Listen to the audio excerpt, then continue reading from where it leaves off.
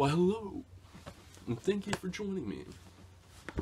Today I have some very important information for you to know, potentially, should you ever find yourself in an emergency situation.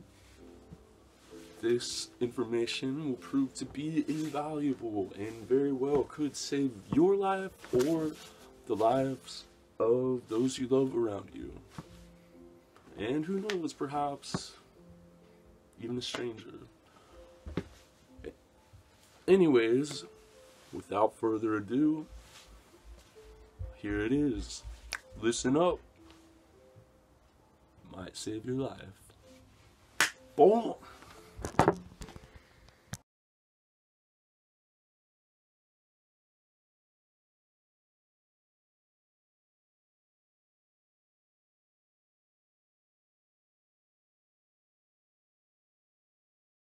Hey, what's up, guys? This is horror author James Hershey Jr. from the Staring into the Abyss radio show. And this is going to be another of my survival videos. And this one is going to be very interesting and it might just save your life one day. This video is going to be on how to make homemade penicillin. Now, right from the beginning, I want to stress that unless you are in a survival situation where there is no other option, you want to go see a doctor. So if the world is the way it is now, and there are hospitals and doctors and ERs, then you definitely want to go to one of those and get a professional to treat you. But if you're in a situation where society has broken down, or you know, a zombie apocalypse or some crazy situation like that, and you get an infection, you're going to be in big trouble. Now, infection can come from like pneumonia, something like that, or it can be something as simple as you cut yourself you know you, you're trying to to cut wood and you cut yourself or you're trying to make food and you cut yourself whatever and the wound becomes infected. Now in a situation like that if if it is a end of society kind of situation then you're not going to be able to just go down to the hospital. So you're going to have to figure out a way to deal with that. Now if you have been wise enough to stockpile antibiotics then you will have them on hand and you won't need to do this. But this video is to teach you how, as a last resort, you can create penicillin at home by yourself without having to go to a hospital if none's available. And in a situation where you're going to die from an infection, then this this is the way to go. It might save your life. Basically, all you really need to do this is a couple things that you probably have laying around the house anyway. Um, you can do this with like an orange or a piece of bread. It's really simple. Basically, all you do is you just let them sit around and age. You can put them in, in a container or a, a plastic baggie or something and just let them sit there. And they will begin to, to grow mold.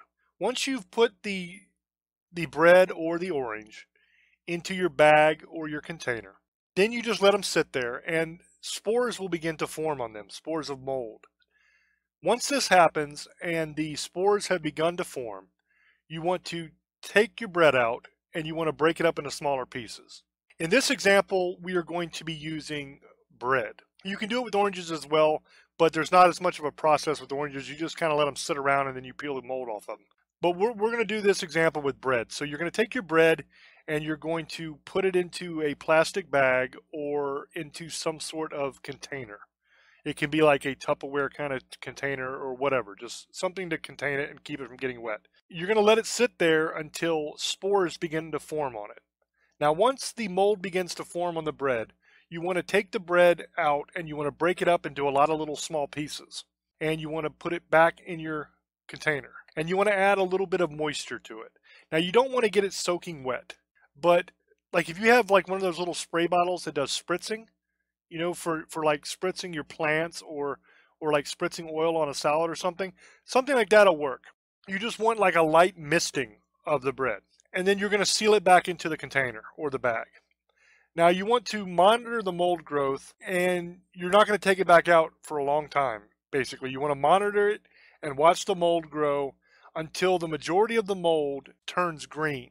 Okay, because you're going to have multiple different colors of your of your mold because as mold begins to grow, it will it'll be white, blue, and green. It has three different stages. Now the green mold is what you want. That's the good stuff. It begins being white, then it will turn to blue, and then finally the end stage is green. At the end stage of green, that means that the mold on your bread has matured. And that is exactly what you want because the green mold is going to contain doses of penicillin. Now, once you have the, the green mold that has the penicillin in it, you can begin to use it as a treatment pretty much right away. Now, there's a few different ways that you can do this. The first way is you can take a large cup and you can put some of the bread clumps that have the green mold on it in the large cup and you can add warm water to it. Now, you don't want to do boiling water because that could damage the, the spores, but you want to use warm water. And then you're going to mix that all together and then drink it. Well, drink slash eat it because it's going to have chunks of bread in it. Now, you're going to do this as often as you need to do. Basically, you're pretty much going to do it once a day eh, to have your daily dose of penicillin to help you get better. But in a more severe case, you can do it a couple times a day. Now, one thing I need to stress, very important, is you are growing mold, therefore you are growing penicillin. That's a great thing. But while you're growing this mold, you are most likely growing other things as well. And not all of the things that are growing on that bread are going to be helpful and good for you. Now, when you consume the bread, you are getting the penicillin, but you're also getting all that other bad stuff that you've grown with it. And it's going to taste like crap. I'm not going to lie to you. It's going to be gross. But in this situation, what we're talking about, there is no other option. So you're just going to have to suck it up and deal with the bad taste. Now, what the stuff that uh, you've also grown, the other bacteria and stuff that you've grown on that bread, they're going to give you probably diarrhea and an upset stomach. But that's really a small price to pay to save your life because you're talking about something that could turn into a major infection and eventually death. So I guess it'll be worth it. Now, this method of doing it has been used for thousands of years in all kinds of different ancient cultures, and it's also uh, seen in many of the folk remedies that are around the mountainous areas of the United States and in the South. Now, that's the first option. That's the easiest way to do it, but it's really gross. The second option takes a little bit longer. You you take your time and you're going to carefully separate only the green mold from the bread. Okay, so you're not going to have the bread, you're not going to have any of the other colored stuff. Only the, the green mold is going to be separated, and that's what you're going to use. And if you're talking about a wound, okay, if you've cut your leg or cut your hand or something like that, then you're going to take that green mold that you've separated out and believe me, that's not as easy as, as you would think it would be. You'd think it would be easy, just cut the green off, but it, it takes a lot longer than you think. You're going to take that green mold that you've done and you're going to clean the wound and you're going to put them on the wound. You're going to put that green mold on the wound topically, like you're using it as a wound dressing. And then you're going to wrap the wound up with gauze or, you know, bandages, whatever you have. Pads work great in this situation, like the ones women use when they're on their period. Wonderful, wonderful bandages. You're going to wrap it up and you're going to repeat this this process often. As often as you need to. Um, anywhere from every couple days to every day, depending on how much mold you have on there and depending on the wound. Another thing you can do with wounds that isn't penicillin, and it's not going to help an infection, but let's say you cut yourself and you don't want it to become an infection, okay? One neat thing you can do is you can put honey on it. I know that sounds crazy, but this is something that comes from ancient Egypt, all the way back to uh, Imhotep. Now, the doctors in ancient Egypt used to actually dress wounds with honey because it's extremely hard for bacteria to grow on honey. That's why honey lasts forever. I mean, there there is honey that they found in the tombs in Egypt that was put there back in ancient Egypt time, and is still edible today. So honey, because bacteria will not grow in it, it'll last forever. So that's a great a great food source as well to think about. Maybe getting some bees and learning how to do, do uh, beekeeping, or just stockpiling honey before, because it's not only can you eat it and it's really good for you, but it's also good for for dressing wounds with there are other ways of making penicillin from bread and oranges. If you have more time, more resources, then you can make almost pharmaceutical grade penicillin using this same basic process. Uh, it doesn't really cost much to get penicillin now, you know, in modern day. It's easy. So this is not something, once again, that you should be doing in an age where there's hospitals readily available in every town. But if you're in a situation where you cannot go to the hospital because they don't exist anymore, and you're you're in one of those up against the wall situations where you've hurt yourself, this little thing here could save your life. So I hope you guys have enjoyed this uh, little, I guess you could call it a survival hack. I don't know. It's it's something that that is really good for a end of the world kind of situation or end of society at least situation. But I hope you guys enjoyed it. Uh, if you did, please hit like and subscribe to the channel. And until I speak to you again, love many, trust few, and do harm to none. I love you. Bye bye.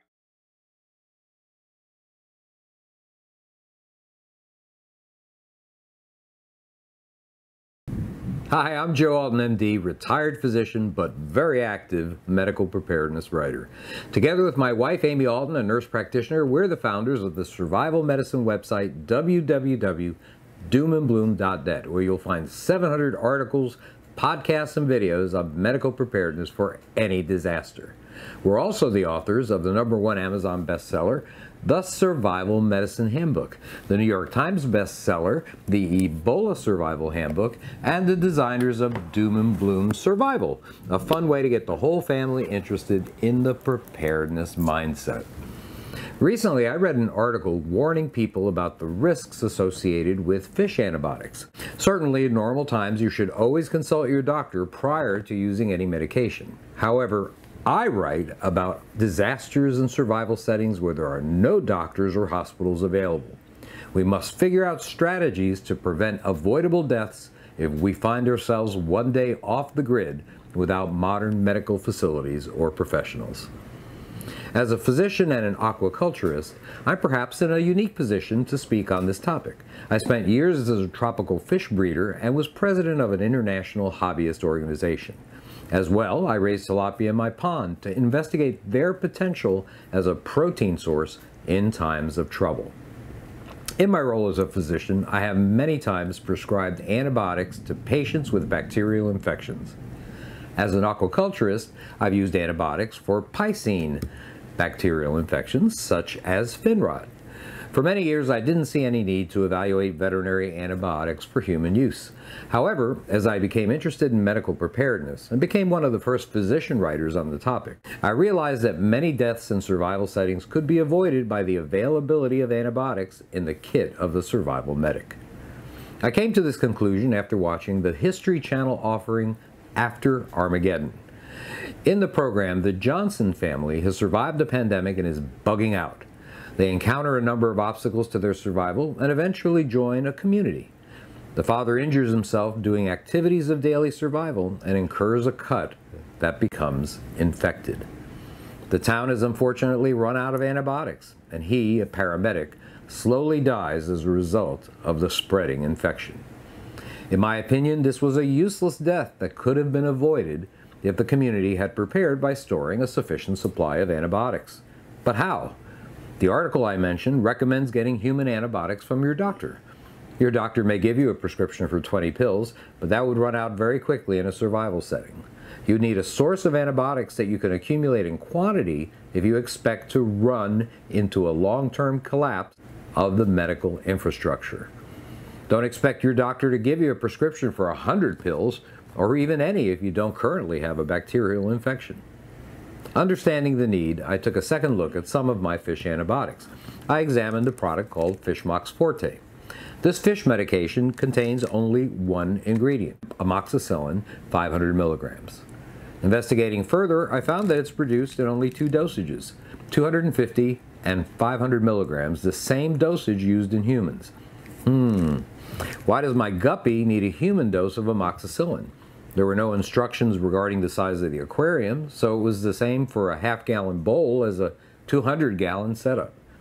This piqued my interest, so I examined a sample of human amoxicillin 500 milligrams produced by Deva Pharmaceuticals and compared it to a sample of Fishmox Forte, the 500 milligram version. The human capsule was red and pink with the numbers and letters WC731 on it. Fishmox Forte was a red and pink capsule with the numbers and letters WC731 on it. Make your own conclusions. I found a number of fish and bird antibiotics that met my criteria. They had only one ingredient, the antibiotic itself, nothing to make your scales shinier or your feathers brighter, were only produced in human dosages, although they're meant for fish and birds, not many in those hobbies that are the size of a human, were identical in appearance to antibiotics produced by at least one human pharmaceutical company, and were available without prescription and could be bought in quantity. It was clear to me, and verified by readers who worked in the pharmacy and veterinary industries, that they were the exact same products, taken from the same batches produced for humans. This wasn't true of all veterinary antibiotics. Some had additional ingredients that gave benefits to certain animals. Others were in larger doses that are not advisable in humans, for example, horse medications. As such, I don't recommend adding them to your medical storage. The article I read asked the president of the Society of Veterinary Hospital Pharmacists if he would personally take veterinary meds. He said that if FDA approved for dogs and cats and it was safe for people, yes, he would feel comfortable taking it. I assume he would make his own determination, as I did, that it was safe for people, since I doubt there's any government statement that it's fine to take dog and cat medications. You may ask, are these fish and bird antibiotics FDA approved? Of course not. They're marketed towards the pet industry, and what company will go out on a limb and say that humans should take them? There may be little government oversight, but why would companies use the identical appearance and identification numbers if they're producing a different lower grade product? It's simple enough to just use a different colored capsule. Could fish antibiotics be different in some way even if they meet my criteria? If so, the same could be said for human generic medications. They must have the same active ingredients, absorption, and elimination, but may vary by up to 20%. Most generics are perfectly fine for human use. So let's go back to the important question. Would the fish and bird antibiotics I write about be a useful addition to your survival medical storage? Some deaths may be unavoidable in a situation without rule of law, but does it make any sense not to have medicines that could possibly prevent an unnecessary death? Of course, you'll need to study antibiotics and their use and indications to be able to make a difference as the medic for a survival group. Antibiotics are not something to use injudiciously, and veterinary antibiotics are no different. Indeed, the overuse of antibiotics is a cause for an epidemic of antibiotic resistance we see today. 80% of these meds are used in livestock mostly to speed growth rather than to treat disease. One other issue. The director of the CDC is talking about an increased stewardship of antibiotic availability in the United States. Although their aim is to prevent the spread of resistance, I fully expect more regulation and less availability of fish and bird antibiotics in the future. They'll probably even have to look different for the pharmaceutical industry to stay out of trouble. These changes will likely occur soon. If you can obtain antibiotics in quantity now, you should consider it for use in survival settings. Having said that, don't use them in times when doctors exist to prescribe standard medications for bacterial disease. They're no good for viral or fungal infections. You'll need to be able to recognize bacterial infections to use them effectively. This isn't always easy. Learn more, get them while you can, and you might save the life of a loved one and keep it together, even if everything else falls apart. This is Joe Alton, MD, that old Dr. Bones, wishing you the best of health in good times or bad. Thanks for watching. Find out more about antibiotics in our Amazon best-selling book, The Survival Medicine Handbook, available at amazon.com, or get a personally autographed copy at our website at www.doomandbloom.net.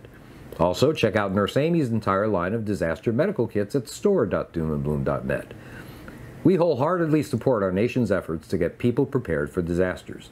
Visit ready.gov for more information on how to succeed, even if everything else fails.